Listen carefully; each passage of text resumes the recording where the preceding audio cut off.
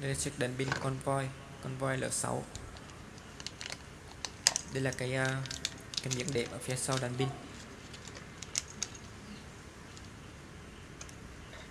Đây là miếng xốp xốp chống sốc và đây là cái à, siêu phẩm của chúng ta convoy L6 đem xem trong còn gì không nhé.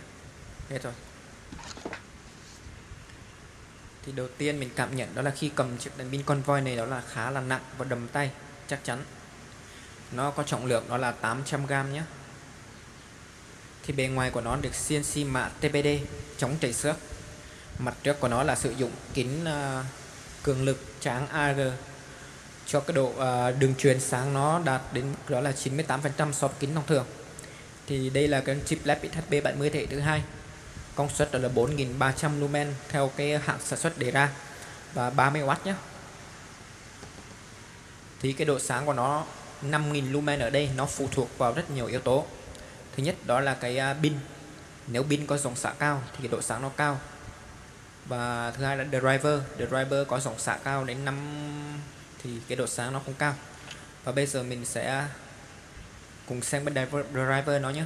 Nó sử dụng cái driver đó là XHB70 và cái à, công suất của nó cho ra đầu ra của nó là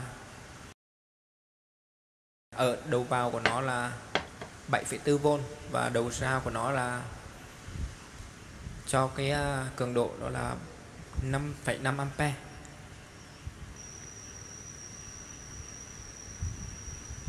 nó khá là nặng nhé. Các rãnh tản nhiệt của nó là giúp cho nó tản nhiệt tốt. Cái này được CNC mạ TPD chống chảy xước. Và mình sẽ cùng kiểm tra cái à, bên bề rộng của cái đầu đèn pin nhé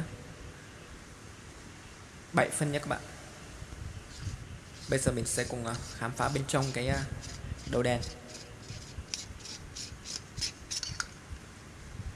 Thì đầu tiên đó là về cái ống kính. Thì đây là cái ống kính trong suốt nhé các bạn. Đây là ống kính được tráng AG chống phản xạ ngược cho đường truyền lên tới 98% các bạn sẽ thấy màu tím tím nhá.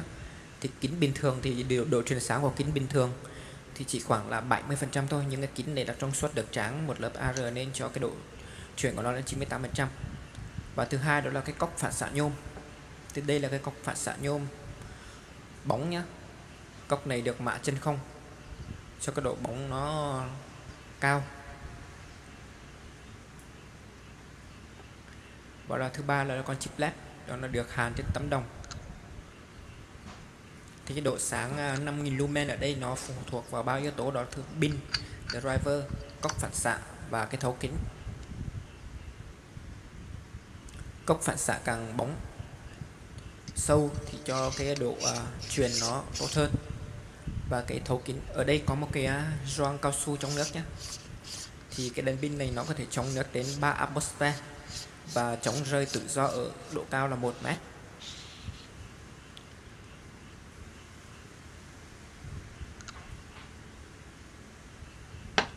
Và bây giờ mình sẽ test cái đèn pin này với à, hai viên pin 18650 thì nó sử dụng pin là 26650 nhưng mình uh, bây giờ mình chỉ thử với pin 18650 thôi nhé thì cái này các bạn sẽ phải uh, sử dụng pin 26650 có độ uh, có cái dòng xạ cao như pin Panasonic LG hay Samsung.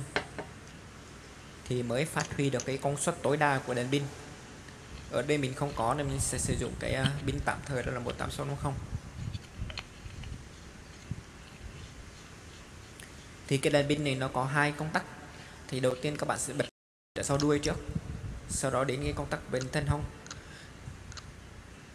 Đây là chế độ 2300 lumen. Thì nó có tất cả đó là 5 cái mức sáng. Mức sáng thấp, mức sáng trung bình, mức sáng cao, turbo và SOS đây là mức sáng à, thấp. Đây là mức 2300 lumen đây là mức 2300 lumen nhé. Đây là mức 150 lumen.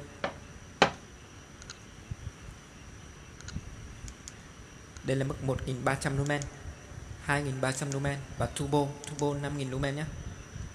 Thì ở mức 150 các bạn nhấp đúc vào thì sẽ chuyển sang chế độ tự vệ SOS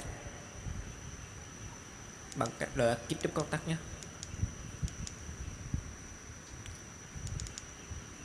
Đây là chế độ nhấp nháy trong trường hợp tự vệ.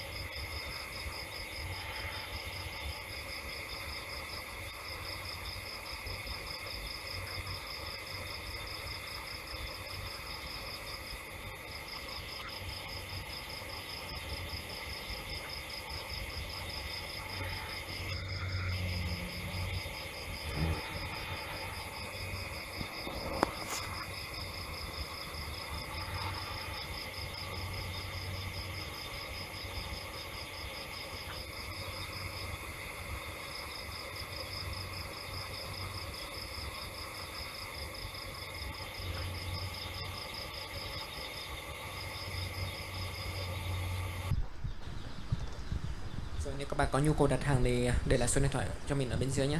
Thì giá của sản phẩm này là 1 triệu 3 Cho bao gồm pin Và 1 triệu 500 nghìn đồng, bao gồm pin và bộ sạc nhé.